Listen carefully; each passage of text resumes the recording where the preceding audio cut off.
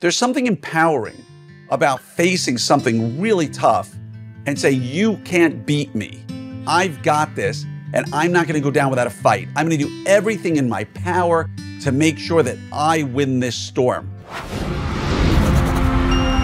Hello there, everybody. It's Dr. Glenn Krieger here with another episode of your Five Minute Friday.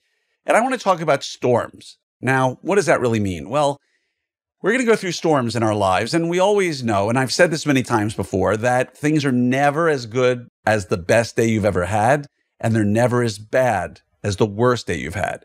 It will always sort of go between good and bad, up and down, positive and negative.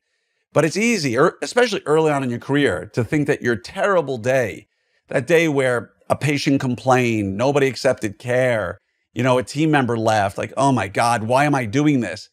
And then you have those great days where everybody starts treatment, all the cases are going beautifully, your team is humming along, you just have that new team member who's really integrating well, and you have everything in between. So again, when things are really good, don't get sort of mollified by the idea that all of a sudden it's going to stay there and be wonderful. And when things are going really badly, don't get down and depressed and like, why did I choose this profession? It's always going to go in between. And I want to leave you with a little thought.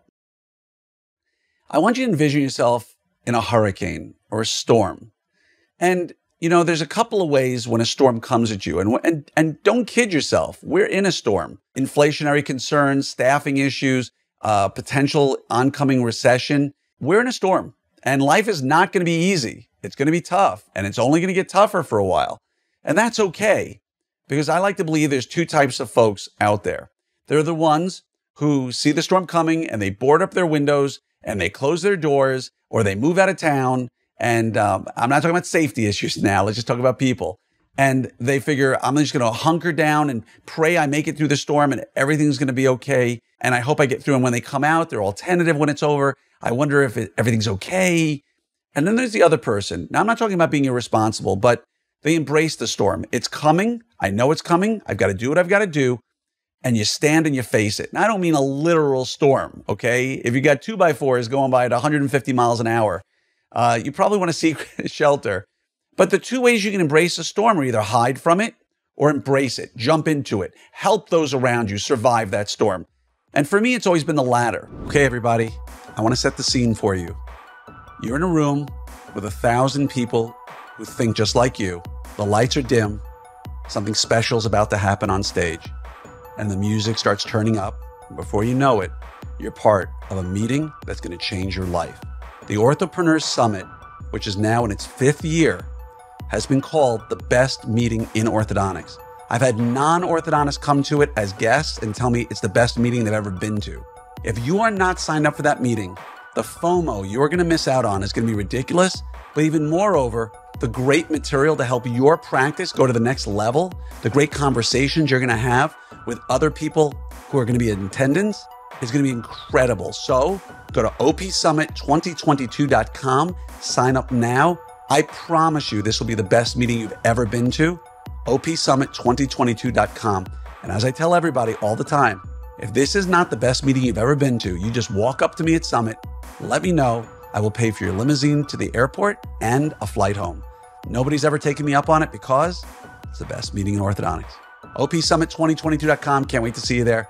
Wishing you the best. There's something empowering about facing something really tough and say, You can't beat me. I've got this, and I'm not going to go down without a fight. I'm going to do everything in my power to make sure that I win this storm, right? And you know, that old saying, I even used it in the Mission Impossible uh, opening last year at Summit. But you know, the, the fate whispers to the warrior, a storm is coming. And the warrior whispers back, I am the storm. I get goosebumps whenever I hear that because it, it's such a great way of thinking about life. Don't let things push you around. Don't think things are terrible. Don't think things are amazing.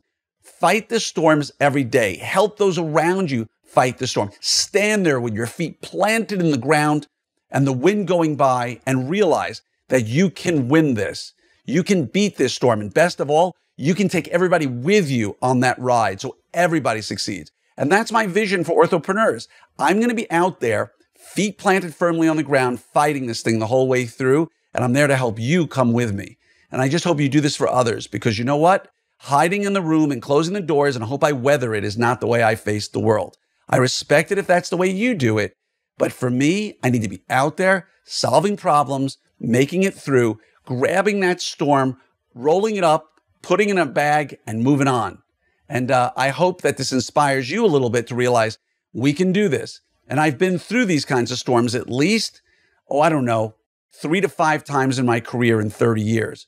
And it will pass, and we will be stronger as a result. So, again, your best day, it's never going to be that good forever. Your worst day, it's never going to be that way forever. It's going to be something in between. And how you deal with it and how you face that storm is going to tell you how you're going to feel when this is all over. All right? I hope this helps you. I'm wishing you a wonderful day. And just know that I'm always there for you no matter what you need. And if you're coming to Summit, I can't wait to see you. If you're not coming to Summit, that is arguably one of the best ways to put your feet in that ground, root yourself down there, and be around like minded people to help you weather any storm that comes your way. OPSummit2022.com. I hope to see you there.